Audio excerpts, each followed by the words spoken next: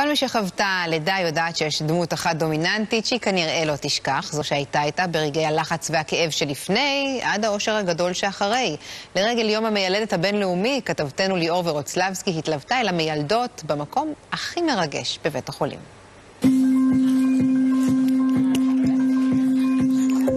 יש ציר? יאללה, אני פה. 12 בצהריים, חדרי הלידה שבבית החולים מאיר. מיכל, המיילדת הראשית ואחראית המשמרת, כבר חמש שעות על הרגליים. כרגע היא, אז חדר שמונה, פתיחה של תשעה סנטימטרים. וב- וחדר 12? 12 התקדמה נורא יפה אחרי אפידורל עם שבעה סנטימטרים, מרגישה מצוין, מחייכת. מיכל מדלגת מחדר לחדר, מיולדת ליולדת, מפקחת, בודקת. יאללה, בואי נראה מה קורה, מה השובב שלך עושה שם. בטח שהוא עושה, הוא עובד יחד איתך. מלווה אותן ברגעים הכי אינטימיים. לא להרים טוסיק, וחזק. עוד, עוד, עוד, עוד, עוד, עוד, עוד, עוד, עוד, עוד, עוד, עוד, עוד, עוד, עוד, עוד. יופי. ואנחנו מתלווים אליה להצצה קצרה במקום הכי שמח בבית החולים. אה, זה לידה ראשונה, ובלידה ראשונה זה יכול לקחת זמן אה, הלידה עצמה. שלום. היי, אני מיכל, אני אחראית משמרת. מה נשמע? בסדר גמור. נו, הצירים התחזקו קצת? הולך ובא. הולך ובא. וזו מיימה, מיילדת בת הפזורה הבדואית, טוב, אז אנחנו כל ציר לוקחים נשימה, לאט לאט, בסדר? ואני פה איתך, תזכרי. לפני זמן קצר היא פגשה את ליהי שרק נכנסה לחדר הלידה. אני כבר מחכה להיות אחראית. איזה שלבים בלידה?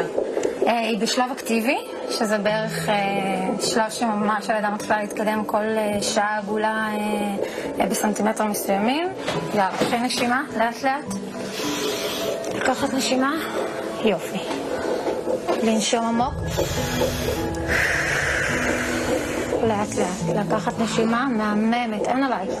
ומיימה מחזיקה לליהי את היד בין ציר לציר, וגם תוך כדי, תדברי איתו. יופי, יופי, מדהימה, מדהימה.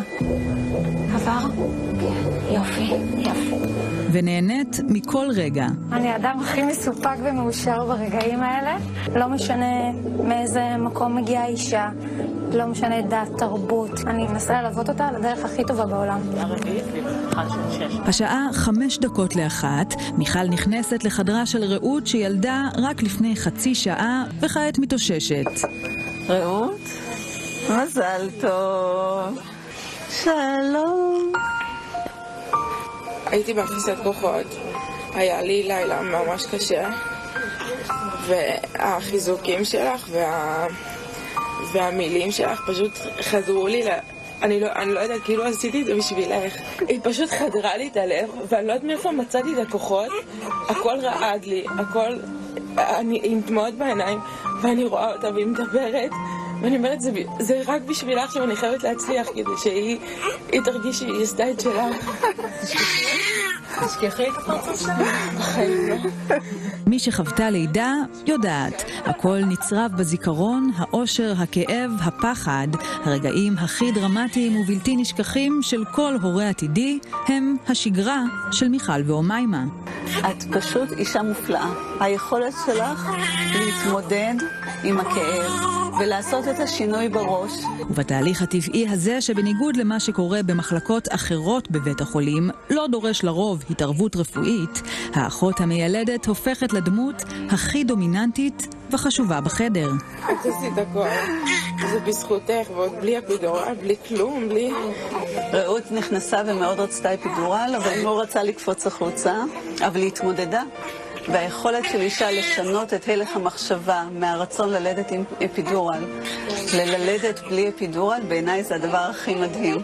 המטרה. כן, קפצת החוצה.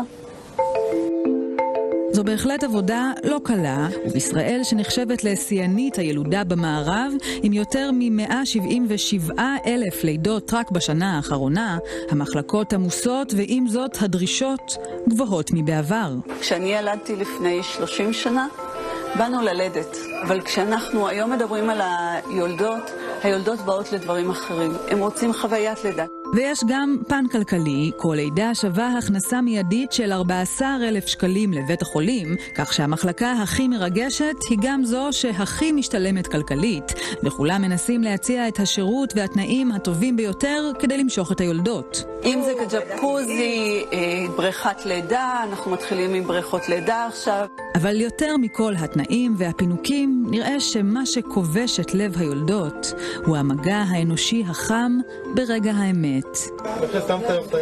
לא. כשאנחנו מעבירים אנרגיות זה בהכל, באיך שאנחנו מדברים, באיך שאנחנו נוגעים. וככה אני עובדת, אני... ככה היא עבדה גם עליי. בדיוק ככה. פתאום באמצע הלידה את רואה שהיא הופכת להיות אימא.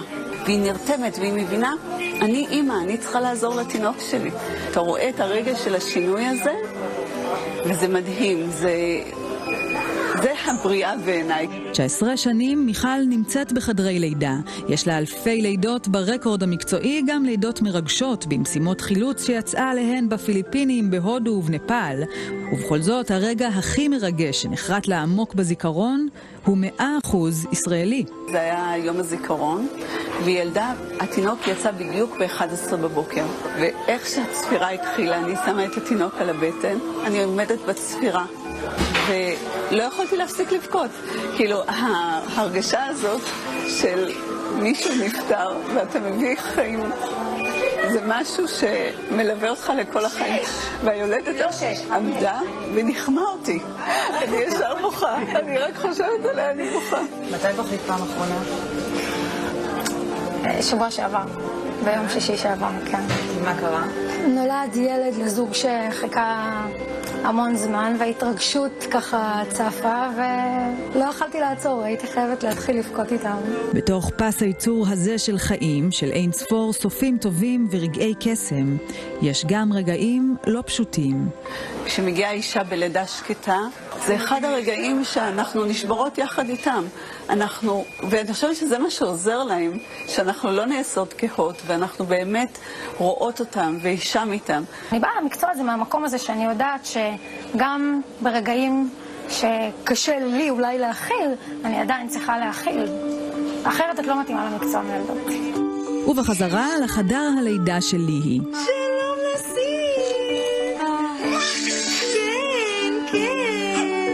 השעה שתיים ותשע דקות, ליהי בדיוק ילדה, ואומיימה מניחה עליה את בנה הרביעי. איזה גדולה מהחיים את. אין, אין דברים כאלה. את מהממת. נשמי לאט ועמוק. הוא איתך, הוא עדיין מחובר אלייך? תודה. תרגישי אותה. מרגישה. את שומעת את הנשימות? כן. תתחברי לה. עכשיו התשישות והכאב מתערבבים בהתרגשות גדולה. אבא מתרגש? מתרגש מאוד. של ההורים, וגם של המיילדת. אבא... טרי. טרי? מספר? אני שמה לתינוק החמוד. היא עברה לי המון. את מתרגשת כל פעם מחדש, בכל לידה? כל פעם מחדש. אני אף פעם לא הולכת ונרדמת, אני חייבת להגיד. לוקח לי איזה שתיים, שלוש, ארבע שעות. משהו שאני אוהבת. ו- ומה אנחנו לוקחים מהחיים? אנחנו לוקחים חוויות, אנחנו לוקחים מעשים. אה, וזה מה שאני לוקחת איתי. לא הייתי בוחרת מקצוע אחר. זה מקצוע שאני לא מוותרת עליו. איזה יופי, שיהיה במזל. כשחושבים על מסעדת משלן, חושבים כנראה על הכל, חוץ מעל מסעדה טבעונית. ודאי